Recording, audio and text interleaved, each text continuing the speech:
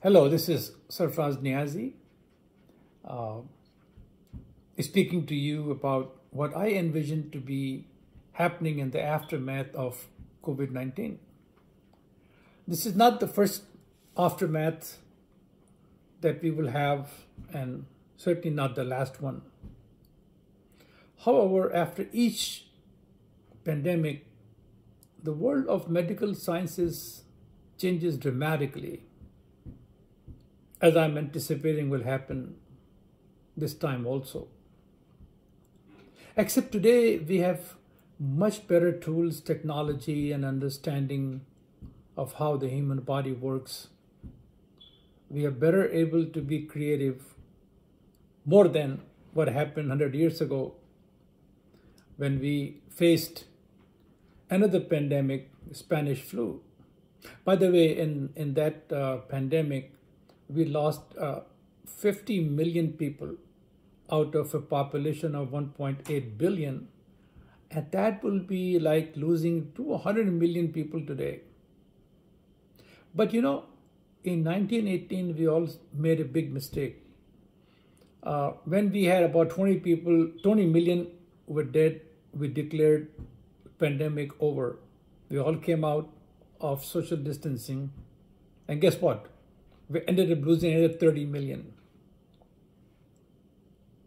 Unfortunately, human race is not good at learning from history. And I'm afraid, you know, we may be going to make the same mistake again.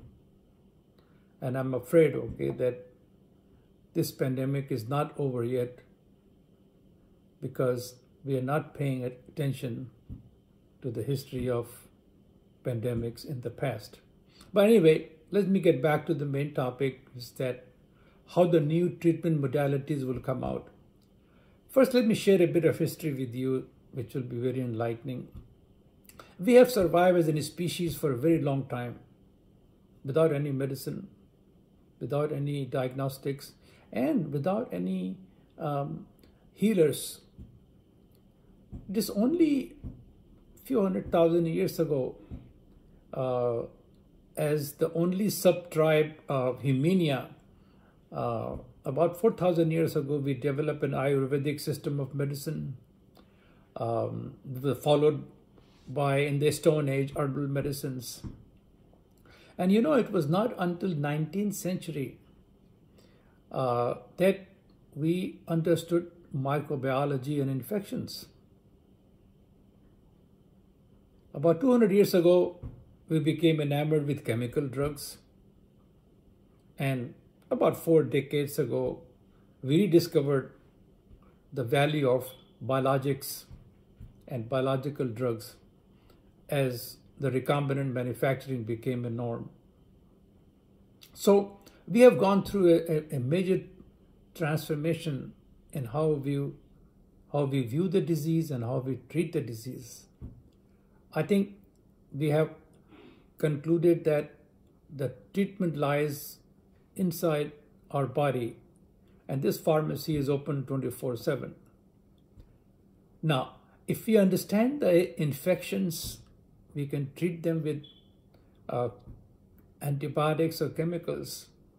But when you are infected with a strand of DNA, there's no possibility of using any medicine to uh, kill it because there's nothing to kill. It's not even living.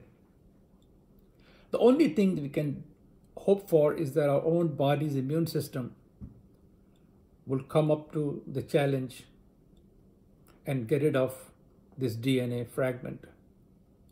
But here's the problem, okay? If this fragment is very uh, virulent, like this coronavirus is, a bigger damage is caused by the cytokine rush that comes in killing the virus. So here's the point, okay, how do we manage infections from very potent viruses? I think we need to work more on uh, drugs that help uh, modulate our immune system.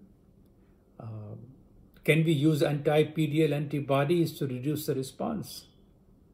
Or maybe perhaps uh, another mechanism to increase the response, which is specific to a, a, a genome code. Is the CRISPR technology applicable to creating antibodies?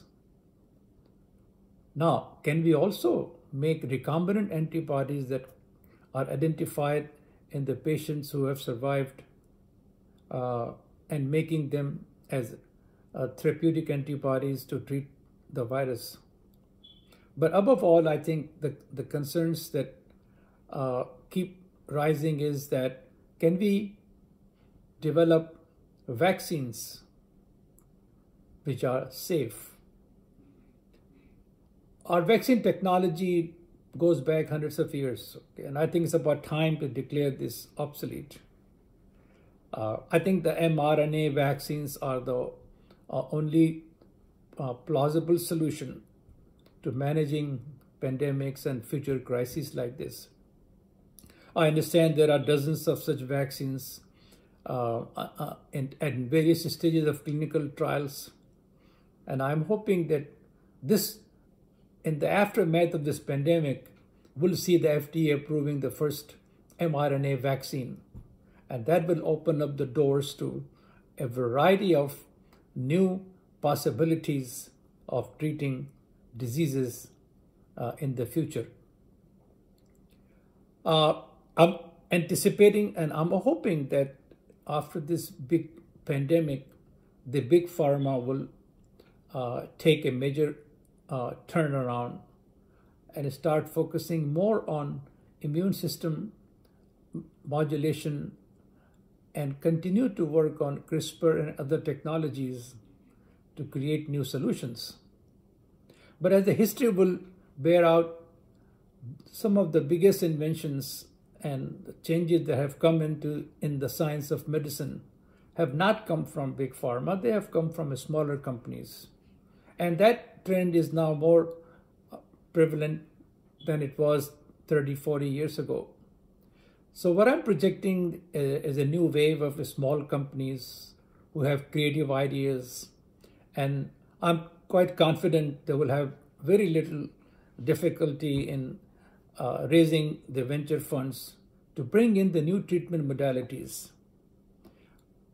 when to prepare for the next wave of pandemics. I hope not okay. But I always believe that I'm an optimist, I believe that there's something good will come out of it. If only we learn from this pandemic that we have to change the course of what the new medicine should be, I think we may have an opportunity to turn around and handle the next pandemic with great success. Thank you.